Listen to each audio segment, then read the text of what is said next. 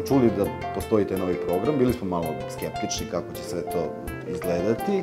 A, da nije ona klasična varijanta, je danas učemo slovo A, sutra slovo B, A auto, ne znam, A avion, B ne znam, bundeva, pa sve tako do Š da bi ja za nekoliko nedelja, meseci shvatio da ono zna sva slova, da zna čak i da čita.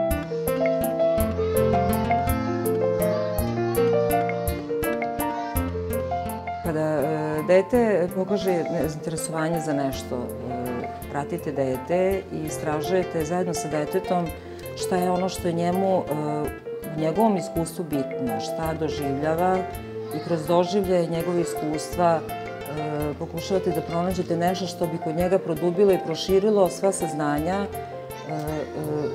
koja mogu da ga posteknu na dalji razvoj.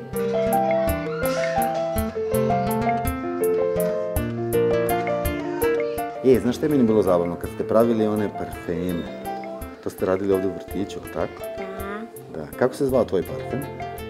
Gala. Da.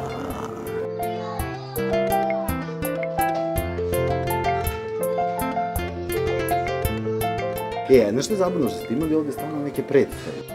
To je kada princ uči da prelazi ulicu.